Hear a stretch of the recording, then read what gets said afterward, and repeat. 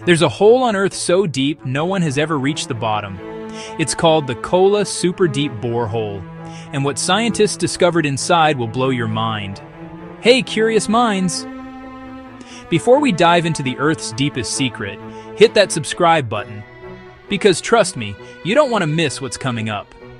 Drilled in Russia, the Kola Super Deep Borehole reaches over 12 kilometers deep. That's deeper than Mount Everest is tall.